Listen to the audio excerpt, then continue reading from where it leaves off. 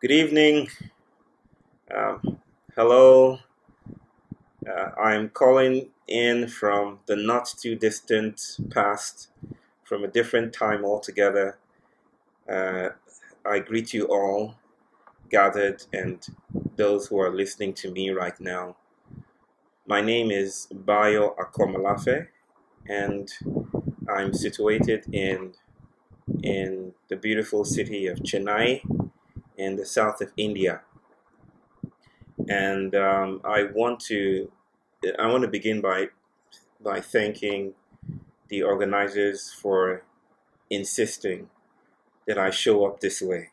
So there is some kind of cyborgian element to my presence. Um, what with the huge distracting earphones in my head and the fact that I'm coming to you through pixels. Uh, uh, and uh, I would also give my apologies for not being present in more in a more bodily, familiar fashion. Um, other travel plans and other things in my schedule um, requires me to be elsewhere and during the time of the conference um, about the very important topic of global citizenship education, what it does and what its promises are, especially to those of us who are in the so-called global south and who have deep, viscerally, corporally felt questions about um, colonization and the tendencies of new and spanking uh, the spanking new things to um, to reperpetuate the same dynamics that interrupted our multiple futures and our ways of being in the world. So, what I want to talk about would be emergent in that spirit, in the spirit of indigenous realities, uh, with the hope that we can think together and work together and that we are bound together, that we all have a common destiny in some sorts, in some way. There are some, I think, commonly agreed um, notions that are evoked by the concept and the invitation inherent in uh, the phrase global citizenship education or global citizenry. And I just want to talk about it first. Um, but I'll start with a story. Where I come from, stories are alive. Stories are how we live in the world. Uh, the story is not folklore, um, but it comes from one of my favorite sci-fi writers, Ursula Le Guin, who, of blessed memory, who died recently. Um, Ursula wrote a short story called "The Ones Who Walk Away from Omelas." and I would encourage you to pick up the story if you have the chance to do so. Um, the story begins with a very beautiful, keen description of a city called Omelas that is rich and abundant with wealth and culture and learning and scientific achievements and architectural wonders. It's a, it's a city that is rich in in a loaded kind of happiness. It's not the flimsy, psychedelic, whimsical, arbitrary kind of happiness, but the happiness that is grounded in real, solid, tangible achievements. Um, the people are happy, the government is working, um, people are doing quite fine. Um, there's personological and communal growth. Uh, just imagine, if you will, because she doesn't quite supply the details of what this happiness looks like. Um, but she actually invites the readers to fill in the details. So, if you will, um, think about the most, the happiest place you could ever be in. What, what that place would look like. Think about what you you're, you're working towards now, as an activist, as a policymaker, as an education practitioner. Um, uh, think of what you would dream of as a beautiful place, Omelas, your Omelas, and then insert that into the story. Now, in the course of things, in the course of the writing, we learn that though this city is beautiful and happy, there is a phenomenon beneath the city, if you will. It's a it's a it's a girl, a little girl that is locked in in a wardrobe, somewhere dank and dark and wet, and forgotten, and abandoned. Um, the way Ursula describes this girl is that she's so she's so subhuman, if you will, maybe as a result of her treatment, that one cannot readily call her uh, a girl.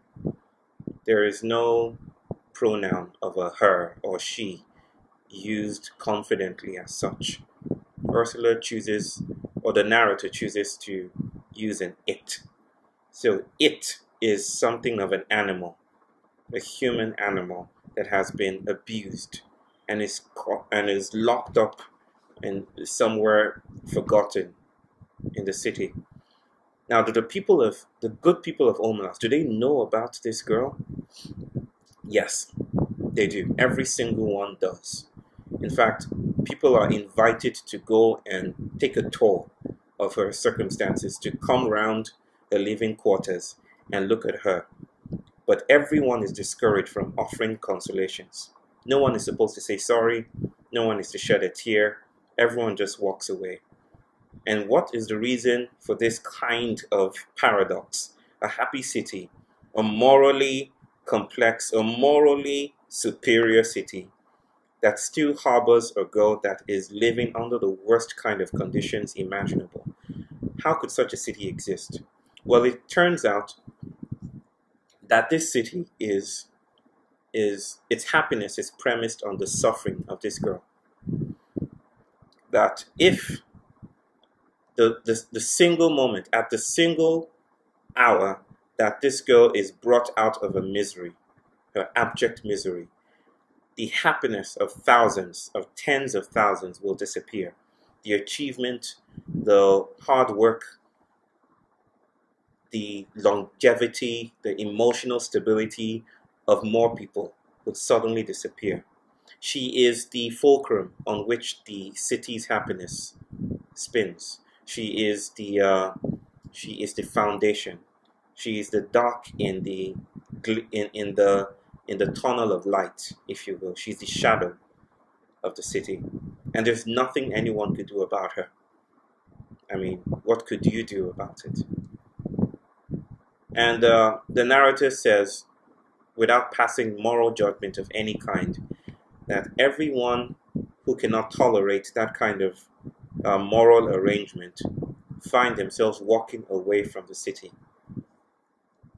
Um, they don't go back to their homes. They pass the farmlands. They pass the impressive towers and buildings, and they just walk away. They don't know where they're going, but they just walk away.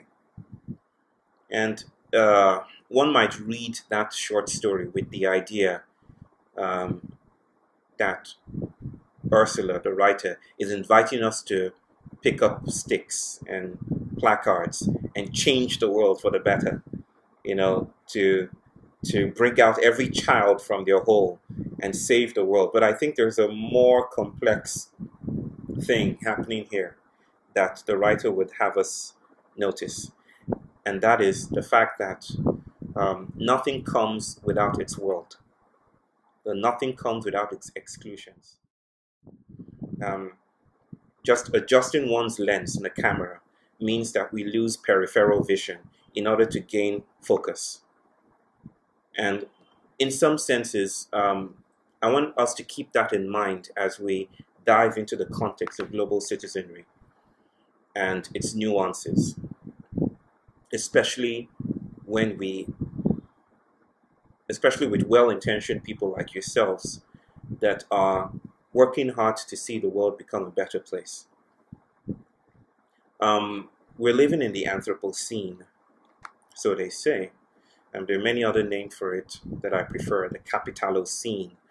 Uh, the idea that the human being is so enmeshed with geology, so um, entangled with world processes that it's, in, that it's almost impossible to delineate or delimit the human anymore.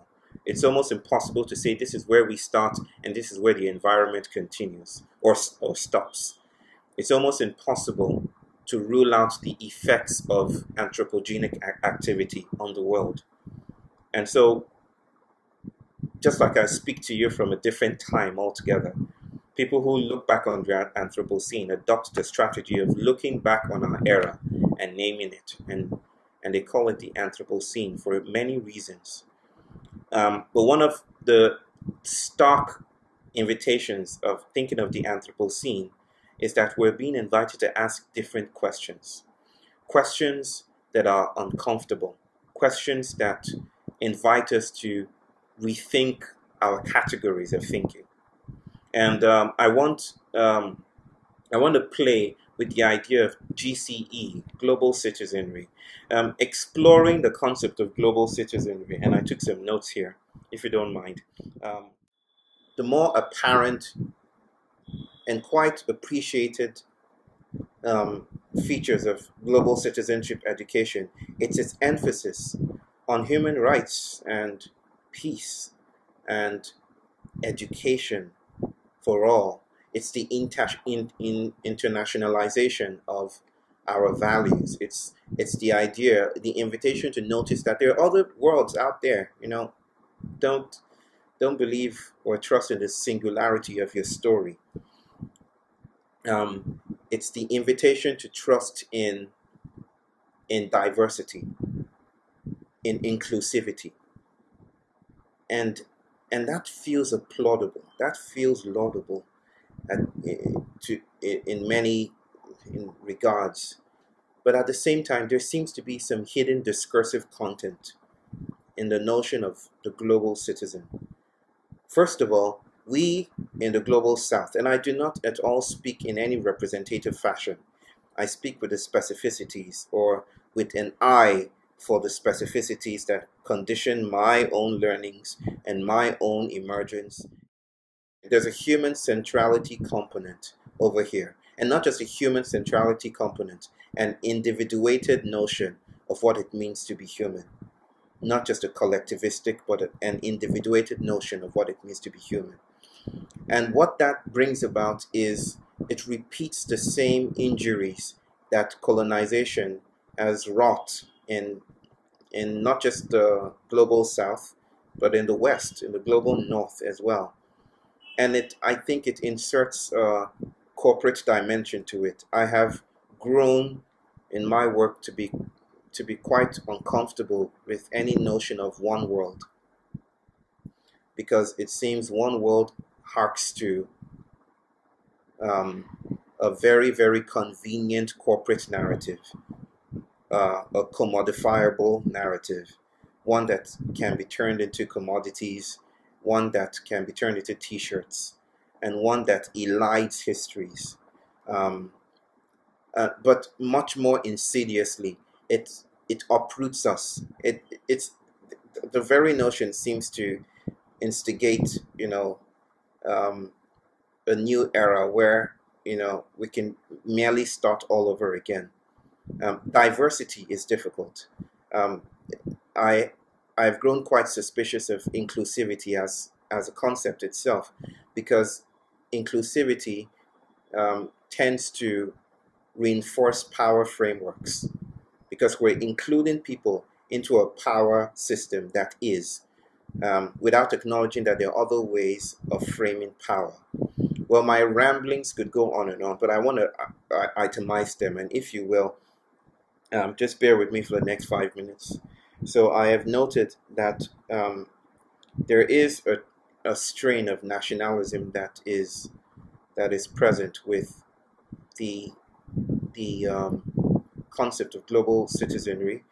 Um, there's an entanglement with the framework of the SDGs and its reform agenda. Um, I would encourage you to read up, or if you're not already aware of it, some of the most resonant critiques of SDGs and how it perpetuates a neoliberalism that is part of the um, elisions and occlusions of cosmologies and cultures and indigenous realities and other ways of knowing and being and learning that are quite vital to, to sustainability if you really come to think of it. Um, there's a cosmology or metaphysics of cosmopolitanism. Let's all get into the pot. Let's all mix together. We're all one.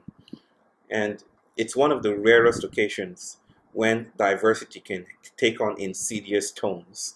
We're all one seems like the most innocent thing to say.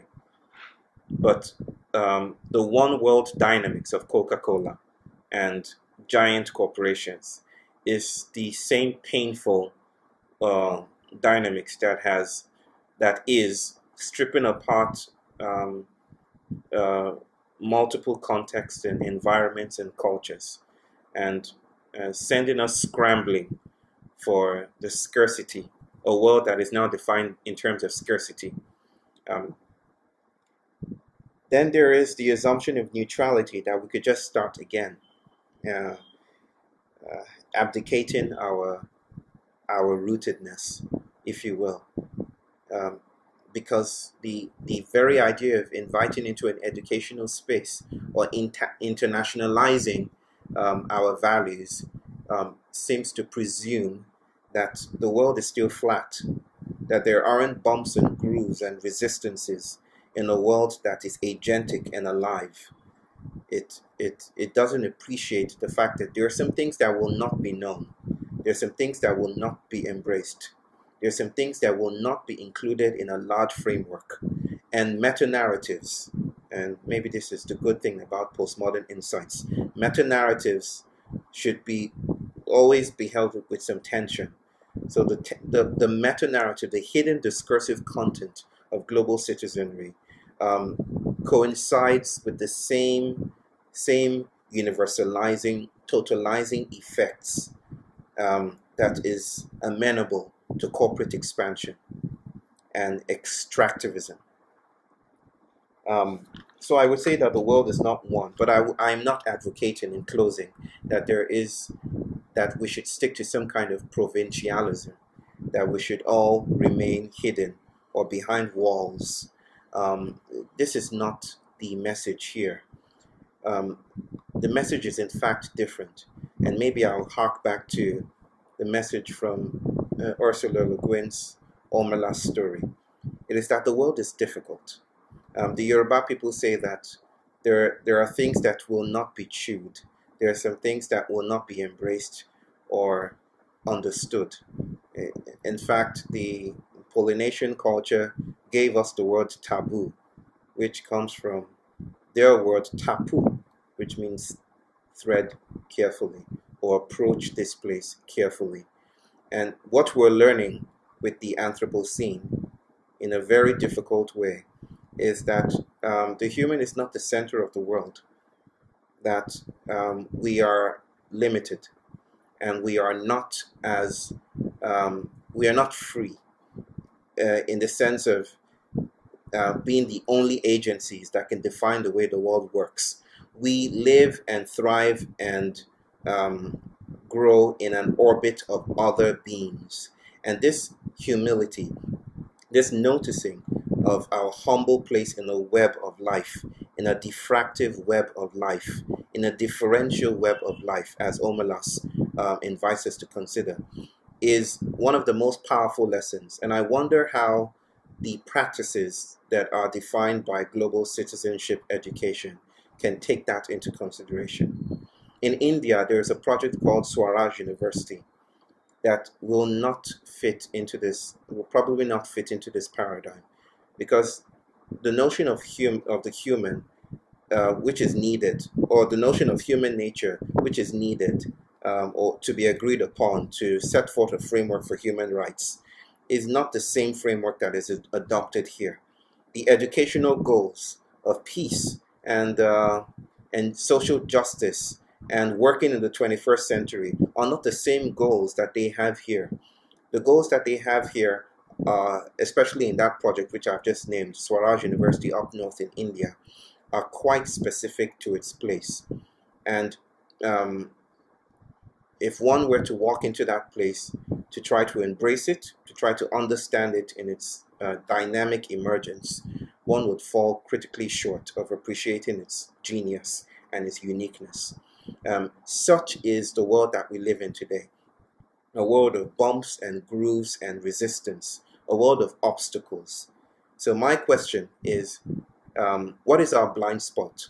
What does GCE really serve? Um, who does it serve? What is it good for? Um, these are generic questions that I would uh, offer with some humility to the circle that has gathered. And I would um, invite us to, to um, consider um, the world that Stacy Alaimo speaks of when she says the Anthropocene is no time to get things straight. So, in our planning, in our designing, in our strategizing, let us leave space for the for the unspoken. Let us leave space for the invisible. Let us leave space for humility. Because where we are now as a species is that we are in a space where we can no longer move forward um, with brazen confidence as we would have done, um, enabled by modernity or even post-modernity. We're in a different time, and that time called for a, a broken compass. It, it called for a lack of confidence. It called for humility and participation with the non-human world. It calls for new kinds of questions. It calls for the kind of spirit that is evoked when my people say the times are urgent, let us slow down. And with that, I would um, I would say thank you for listening. If you have listened, um, and let us move awkward, not forward. Thank you.